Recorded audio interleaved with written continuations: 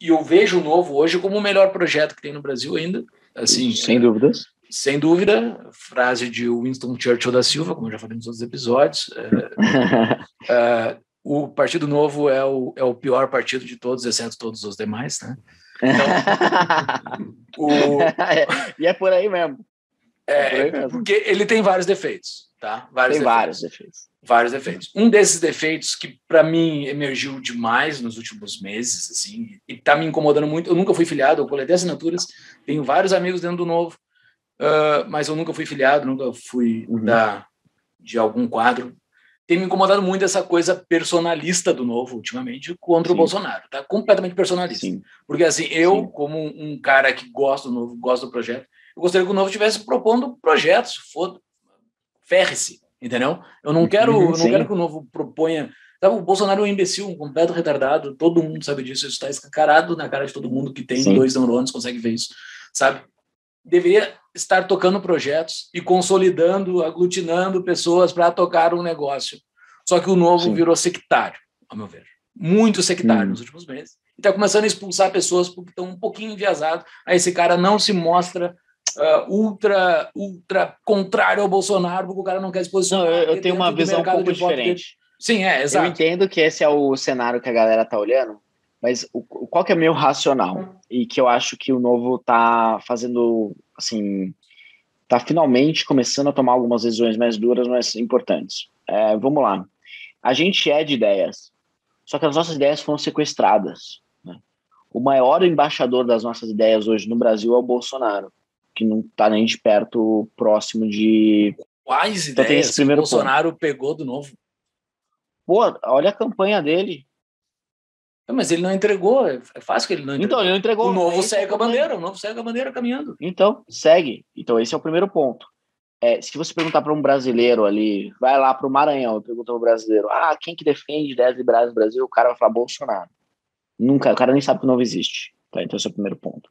Segundo ponto é, a gente sempre é conhecido com base nos, nos posicionamentos ligados ao governo. Todo mundo sabia que o Novo era oposição ao PT, em, enfim, do governo Dilma e tal. Todo mundo sabia, sabe? Era um negócio muito simples. E se as pessoas não soubessem se o Novo é oposição ou próximo ao PT, provavelmente elas não teriam uma aderência ao, ao Novo, que é o que aconteceu com o PSDB. PSDB fez uma oposição tão lixo nos anos do PT que as pessoas não sabiam se eles eram oposição ou se eles eram aliados, porque eles jogavam aquele joguinho político lá tal e se aliavam muitas vezes ao PT. Assim como eu vejo na Assembleia o PT se aliando ao PSDB. Não foi um e erro isso... do novo isso? Não foi um erro do novo isso se botar? Entrou é... aqueles caras que eram completamente contra o PT, só que não tinha proposta de ideia nenhuma. Ele não deveria então, ter é. como uma proposta. É porque antes valor, era mais então. fácil. Então... É, então, assim, tem, tem erro de seleção. Claro que tem. Qualquer empresa do mundo que faz seleção de funcionário também erra. É, a questão é: o nosso processo seletivo era ruim, hoje está melhorando. Não sei se ainda é bom, mas tem que melhorar cada vez mais, porque a gente também é meio que uma startup Sim. na política, assim, né? Agora, a questão é a seguinte: todos os partidos são reconhecidos com base nos posicionamentos. As pessoas, para criar uma ideia do que é um partido político, elas entendem, ah, tá bom, mas é, quem que é o, o MDB? O MDB é aquele partido que se alia com quem está no poder. As pessoas têm essa ideia. Quem que é o PT? O PT é aquele partido que se posiciona, sabe, que é a esquerda e tudo mais. Branding, forma. branding puro. É, e isso é. E o PSDB em 2018 se fudeu se ferrou, né? Desculpa o francês, mas ele se ferrou por quê? Porque ele não passou de uma maneira clara é, onde ele estava. Ele não fez um trabalho bem feito, como boa parte do eleitorado esperava, que era ser oposição ao petismo e tal. Então, assim, e eles tomaram na cabeça. As pessoas vão conhecer o novo da mesma forma. Como que o novo era em relação. O novo, assim, é muito óbvio, a gente não precisa nem falar, a gente fala mais das ideias, porque é tão óbvio que o novo é contra o PT que não precisa nem falar. Agora, é, diante de outros governos que têm outras vertentes, mais de centro, mais de direita, mas como que o novo se posiciona? E esse posicionamento tem que ser sempre claro, porque eu não tive 183 mil votos, assim, porque eu sou conhecido, famoso, tal, eu não sou, entendeu? Muita gente fala assim, não, eu gosto do novo, eu gosto das ideias, eu gosto do posicionamento, porque a ideia se, trans, se transforma a posicionamento sempre. Se a ideia não se transformar em posicionamento, ela, ela não se sustenta. Tá? A ideia vira posicionamento. Se você falar assim, não, eu sou liberal na economia, aí na hora de se posicionar, você é negligente com, com uma, um projeto que cria benefício fiscal, entendeu? Você fala, opa, pera lá, entendeu? É ideia ou não é ideia? Porque a ideia tem que se transformar em realidade.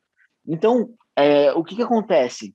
Quando você não dá clareza, e tem gente que é, gosta do Paulo Guedes e tal, né? Eu não falo nem Bolsonaro, porque entendo que boa parte das pessoas não gosta do Bolsonaro. Talvez ou outro do novo goste, assim, na, e, e, tenha, assim, uma proximidade até na física maior com o Bolsonaro, tá? Na física. Ou, é, na física. Tem gente que conhece mesmo, que é próximo. Agora, o, o, tem gente que, tipo, a maior parte fala assim, não, Bolsonaro é um ser bastante uhum. limitado intelectualmente e tudo mais.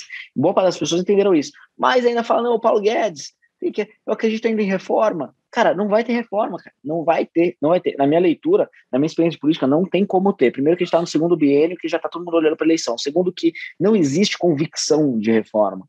E, pô, fala, chamar a reforma tributária é isso que veio aí, pelo amor de Deus, cara são mudança de algumas regras que diminuem a competitividade do Estado, que pioram ainda mais a situação, que não resolvem o problema de, de ser um sistema regressivo e complexo, que não propõe neutralidade tributária, que não simplifica. Então, assim, não é uma reforma.